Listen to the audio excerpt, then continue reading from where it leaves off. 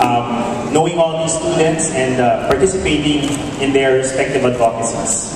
I think the um, the most uh, memorable thing talaga was physically meeting all these people because you know you don't always get the chance to do that, especially in mall shows. Sometimes you know you don't get to talk to the students, but this I saw yung kaya ng mga students, and they were they weren't you know they really made with everything that they had, especially with the recyclable fashion shows. Nakaka-shock talaga. Could see na talagang Filipinos are so they really make do out of everything that they can. Talagang may kaya sila. And I think the most memorable was really just going to these schools and immersing myself 100% in their lives and seeing what they're they're capable of achieving. And I really felt like I was so proud of the youth nowadays because obviously I'm not nakasama there. So, Oh, you know, I felt hindi na ako youth because, you know, it was, these are the new people that are going to come up and change our country. And I felt very reassured seeing them with how they took on the project and made it personal and made it relevant.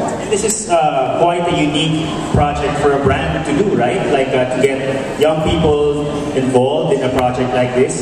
Um, how do you feel? I mean, you mentioned a while ago that you're so proud of being the, uh, the ambassador for the The brand. brand itself, I was very proud. Right. Um, how does it, your question is how does it How does it feel that uh, you're actually part of a project that has actual beneficiaries and actual advocacies? Well, um, I really thank Garnier for giving me the opportunity to be part of this because I don't think I would have reached that, uh, you know, seen that amount of people and reached the lives of those of those many people without Garnier being included. So I'd like to really thank you guys for coming up with something this.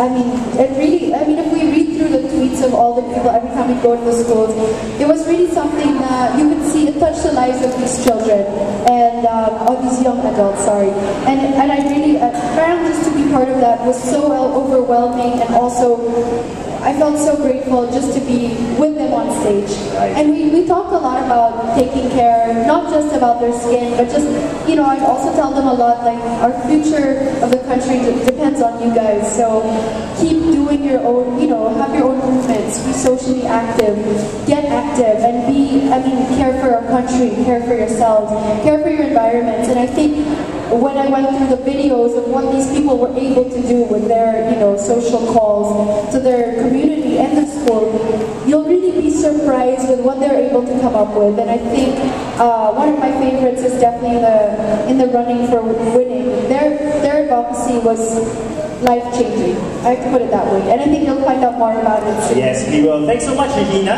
Thank and uh, now let's call back on stage our participants one by one. But before they come here, we'll show you a uh, short video presentation of their project. So please watch this from the St. Paul University in Quezon City first.